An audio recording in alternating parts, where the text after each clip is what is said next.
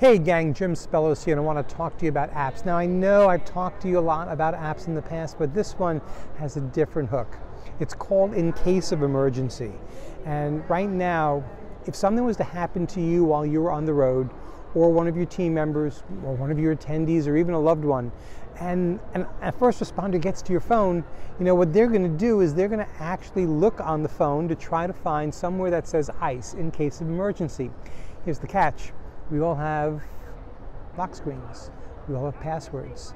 But this app allows you to have this sitting on top of your lock screen so that the individual, when they find you, and hopefully they will in fast time, it will open up the app and give them access to find out your medical history, what medications you're taking, anything else that can absolutely save your life in an emergency. Now, some people in our security conscious time are worried about putting too much information that's accessible, but you know what? That's a choice you got to make based on what's important to you. For me, I've had some medical issues in the past few years, so I wouldn't go anywhere without all my devices having that access. The great thing about it, app is free of charge. So do it for yourself, for your friends, for your team, even for your family. So hope you take this app and hope it does save a life sometime.